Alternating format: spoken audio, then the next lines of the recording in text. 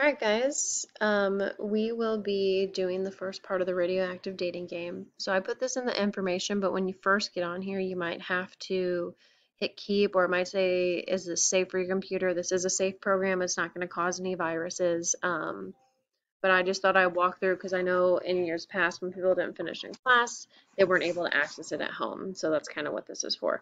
So bear with me. I'm looking up the instructions on my phone since I can't pull up two things at once here while I'm recording, okay? So the first part is all gonna, like all this is about, this is going with our notes, evidence on evolution.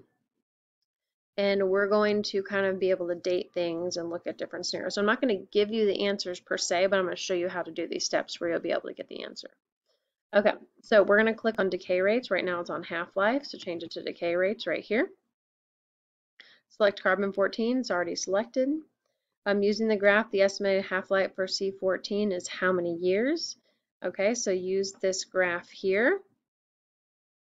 Okay, and put in the number. You need to estimate about what the half-life is for C14. So that's this number one right here.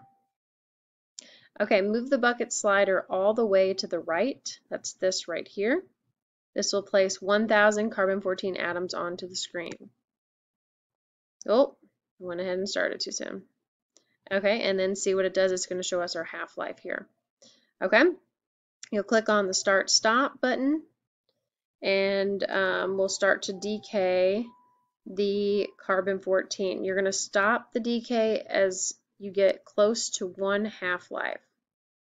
Okay, use the step button to stop decay at one half-life. All right, so let's start this over. We need to reset. Oh, goodness. Okay, I'm just going to pull this over. Okay, so I'm going to pull it on the right, and then the goal is to stop it on the one half-life the best that we can. Okay, and then this moves it over a little bit. Perfect. Okay, so this is looking at step four question C. After one half-life, how many carbon-14 atoms of the 1,000 originally remain? So this is the number we're looking at here, okay? All right. Use the start, stop, and step buttons to reach two half-lives. Okay, so let's start it again. Now we're going to get two half-lives. Ooh, went a little bit too far. Let's try that again here.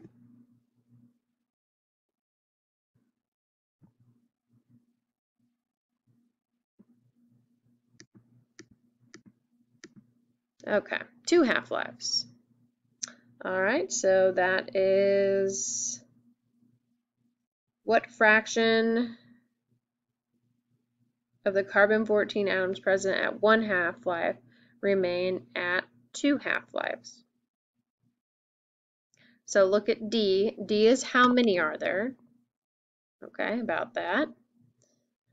Um, what fraction of atoms is present from one half-life to two half-lives? So you need to look back at your number for one half-life and put it over the number for two half-lives. Now I know we're not looking for a perfect number number here. Look at those two and, and tell us about how much. Like, okay, we're going to estimate here.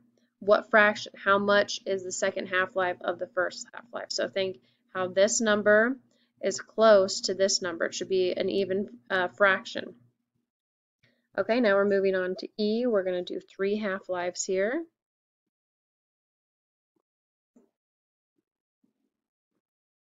Okay, that's pretty close. Here's our number here. Um, that's E, how many? So that's how many there are. And then same thing.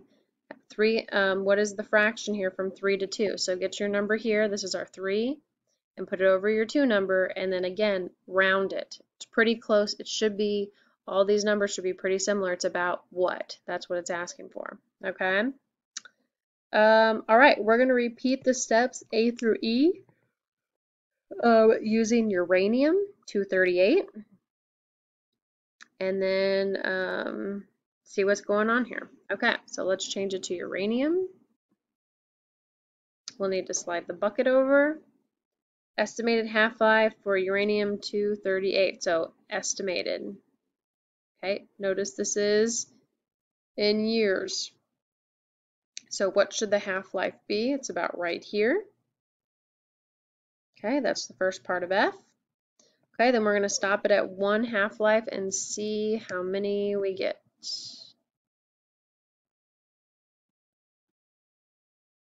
Okay, here's our uranium. That's how many we have at the half-life from a thousand. Okay, next part is what fraction of uranium-238 atoms present at one half-life remain after two half-lives. Okay, this is asking for a fraction here again, so we need to figure out the two half-lives.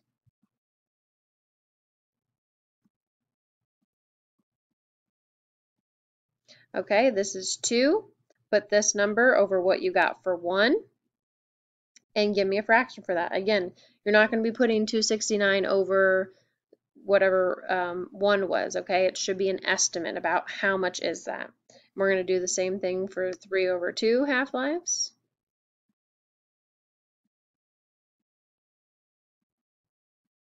Okay, so put this number over what 2 was, and again, give me a pretty even fraction.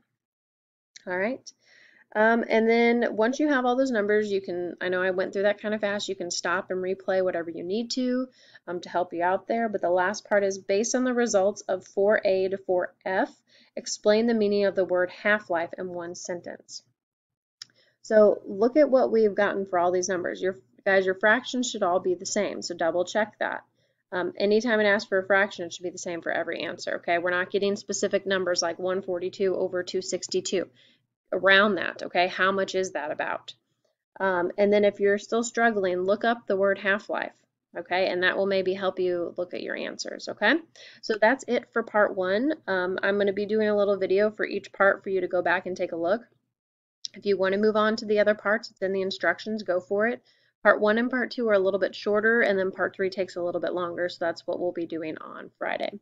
Okay, uh, rest of the time, go ahead and work on your activity one.